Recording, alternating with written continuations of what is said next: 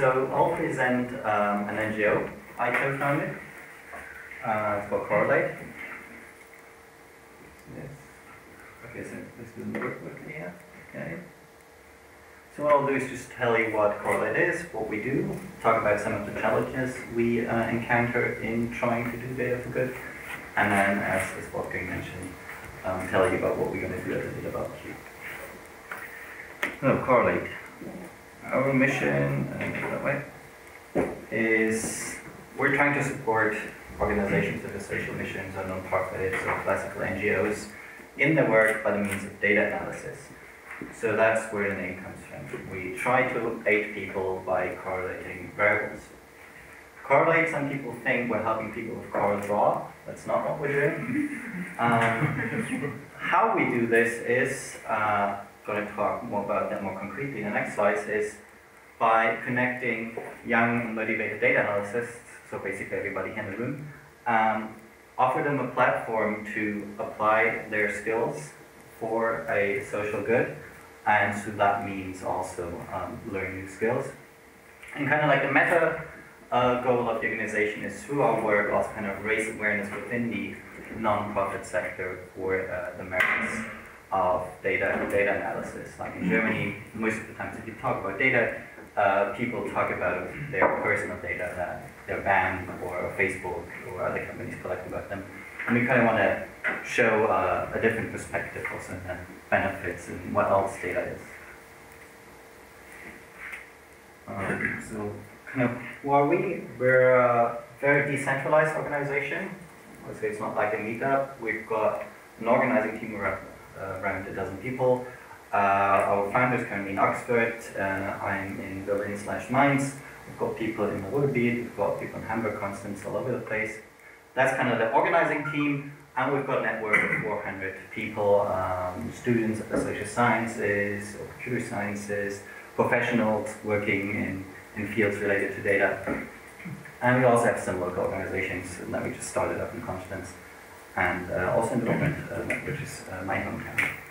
And kind of as an organization, we're a classical registered charity in Germany, so you're regular eingetragen Verein. Um, you'll get a short version uh, or a like narrative version of uh, this here is an article that the global edition of the Handelsblatt recently um, ran about us. I know like the full link here is not very helpful to you now, but just Google uh, when big data meets altruism to kind of get that article if you want to read more and see some more examples more than I will give here. So what we do, all, thought I'll just start with one of our projects, talk about what we've done there. Um, and I want to talk about a project we did for the um, an umbrella organization for all debating societies of German-speaking universities. Um, there's a pretty big organization, like most German universities have a debating society, and this umbrella organization um, organizes tournaments, a German tournament, uh, also once hosted the World Championships.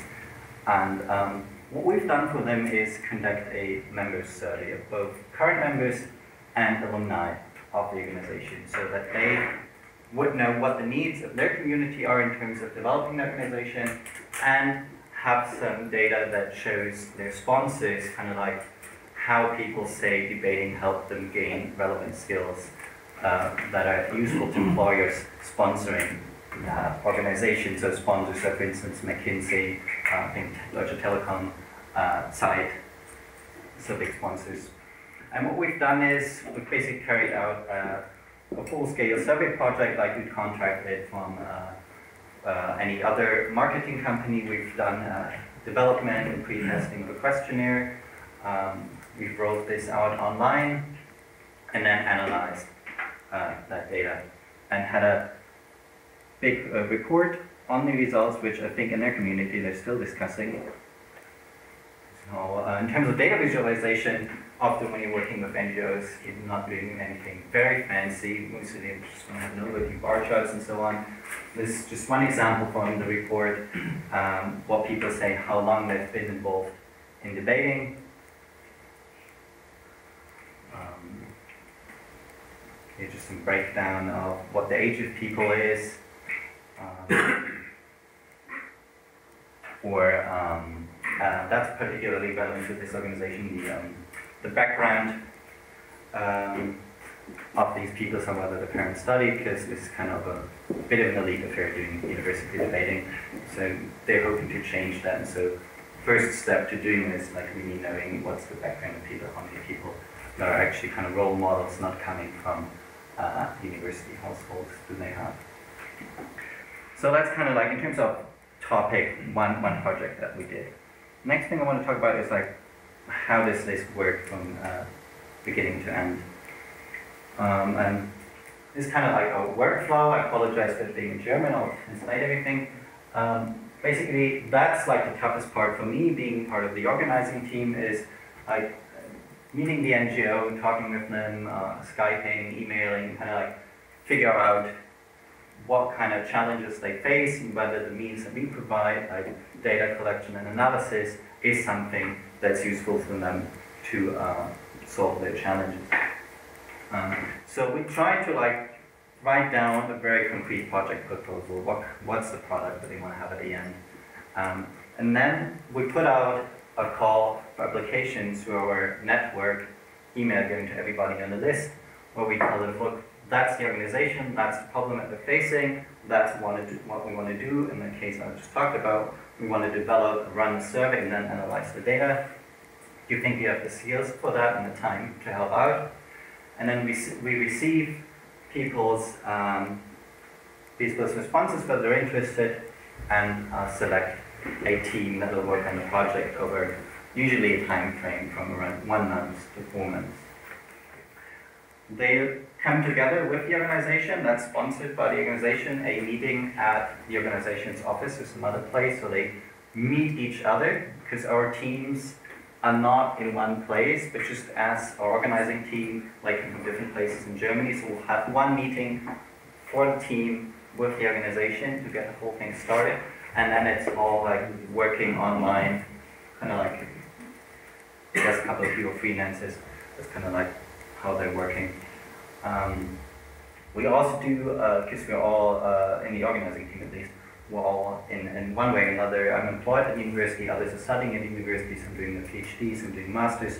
So also doing like a, a fully legit uh, peer review process where we send out another email to the network, ask people whether they would anonymously review um, the draft project report, and then the team receives those reviews they report uh, the report and then it goes to the client. We'll have a report at the end, ideally also some event with the organization. That's, that's basically um, what we'll do. What we hope to achieve with this is obviously have some benefit for the organizations we're working with, that the insights we generate are in a way helpful for them to steer their work, to improve the work they're doing. Um, we also have a strong focus on like providing a benefit for network members, for the people who work on the projects. Um, uh, those people are mostly students, because students are the people in network with the most time at their hands. You guys, I guess most of you are in some kind of employment, you know that your time is scarce. Spending like five to ten hours a week on such a non-profit project is hard. So uh, most of our project members are students and parts. I guess most important goal there is to show students that the data analysis skills that they learn in, uh, in their courses, maybe psychology, computer science, or sociology, political science, that these are also useful outside the scientific realm of their subject of study and kind of encourage them to take further courses in the subject and consider data analysis as a viable career path for them. Along with the usual things like if you do project work in a team, you'll learn teamwork, you'll learn all these other soft skills coveted by employers. Uh, I just heard Wolfgang's not a programmer, but just one short slide on kind of like the software we're using. Uh, most of it should be familiar. We're using for analysis and visualization, we're just using the standard combination of R and RStudio uh, because it's so versatile and very important for students. It's free and we don't run into any kind of like legal issues using uh, education licenses or other software for such a project. Um, we're using TeamDrive to sync data across computers to people. It's a solution hosted in Germany. That's very important in terms of data security if we're working with uh, survey data. Um, initially, we wanted to use um, GitHub, but that turned out that's a bit like too steep a learning curve uh, within these student teams. And Slack should be familiar, and that's what we use to communicate within the teams, but also in the organizing um, team. These are other organizations that we've worked with. Only to briefly mentioned what we did. This year, this is like a very German project, uh, Boy Scouts organization, actually it's Boys and Girl Scouts. And they, they ran a members survey which has been lying around uh, for a couple of years. Like they, they ran this nice survey with pen and paper on buses to their summer camp. They even like programmed some uh, interface to feed the data into MySQL database, and then nobody was there to analyze the data. So that's what we did. Um, then we ran a workshop with Street Football World. They're kind of an umbrella organization linking together um, football projects on the ground in different parts of the world. So, for instance, like a football project in Medellin, Colombia, um, and trying to get funding in from them, from FIFA, from all the big football sponsors. And we had three workshops in Berlin with people from the data science community there to get into an exchange and what kind of the challenges and needs of an NGO are, how the NGO currently works, and what kind of solutions um, data scientists talk about in their day-to-day work, and whether anything of that is applicable to um, them. Project Ashoka is one of the biggest social entrepreneurship founders, and we've analyzed applicant data for one of their projects looking at what the predictors for successful application are. And it's one thing, so kind of looking at whether there are any implicit biases in who they select for funding, and secondly, also making some improvement to the form they are using so that in the future it's also about empowering the NGOs. They could run these analyses themselves without our help. Uh, just an example, before we done the project with them, everything in their form was like a free text field and even like organization size was you could put in whatever. So with that output, it's hard for the organization to do the analysis. One Big Student uh, is a cool project. They're connecting um, pupils and students so that pupils can follow students uh, in a regular university week to see whether that's something for them studying that subject, that area. We connected them with one person from our network to help them get some visualizations, some statistics, for seed funding applications. Um, the Helpen is a pretty cool project, so if any of you guys are involved in the NGO, this is backed by some of the major IT companies and they provide IT for free to NGOs. And we got the data from their um, from their e-commerce site to analyze like what the demand for, for the different products are. Uh, European Youth Parliament is a cool project uh, simulating a session of the European Parliament. And they've also run a survey of people participating in the program. So we've looked at um, how the participants match up towards a pool, a representative pool of young people, whether they, what are the selection mechanisms there, which people are missing out on the program. And lastly, Pflasterpass, they're doing first aid courses for kids, and that was just connecting them with an analyst to do some Google AdWords data analysis. Well, that's the project so far. I hope to add more logos to this slide uh, during the next months. Let's forget that. Okay, so before I mention what we'll do at the data barbecue, I just want to briefly um, mention a couple of challenges we're facing, not really providing any solutions to the challenges, but seeing that maybe there are any ideas here in the room in how to tackle that, and maybe these challenges sound familiar to you. Um, the problem is not like finding a good solution for the problem the NGOs are facing. The problem is uh, finding the problem in the first hand. Like particularly um, with a group of organizations where most of the people come from a humanities uh, background or social science background without lots of quantitative background. So I think it's a bit different to like uh, working with companies where at least in the relevant departments you'll have some people with that education.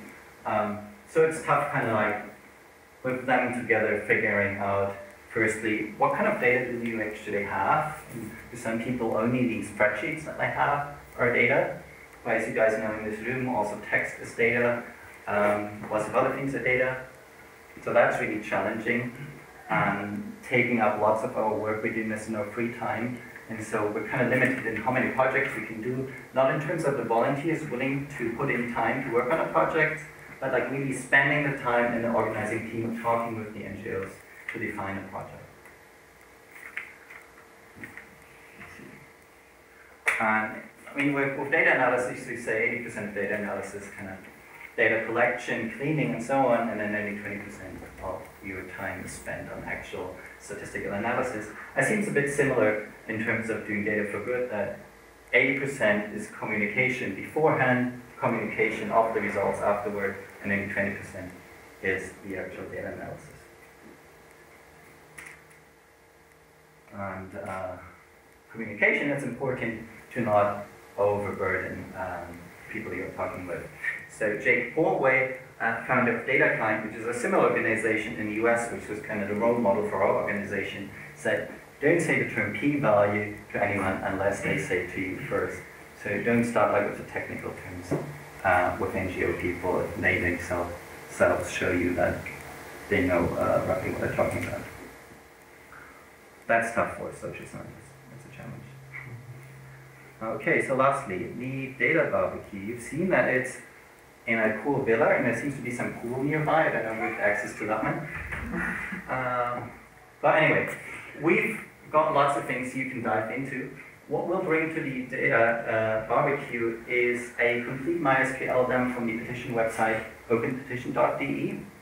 So that includes thousands of petitions, petition texts, uh, info on whether they send out email reminders or something, when these petitions were posted, what area they're going to, whether they have contact with politicians, and a complete anonymized list of the signatures. So I think we've got 11 million signatures around there. Um, this is just one example visualization. We've used this data before that I've quickly done, which is basically just the times of the day that people sign petitions. So you can do all kinds of things with this data. You can like if you do text analysis, take the petition texts and kind of try to extract the characteristics of the petitions which make a successful petition if you do time series or event history analysis, you can look at kind of like what's the ideal time frame for petition, when you can stop signature collection. If you do machine learning, since we have anonymized email addresses,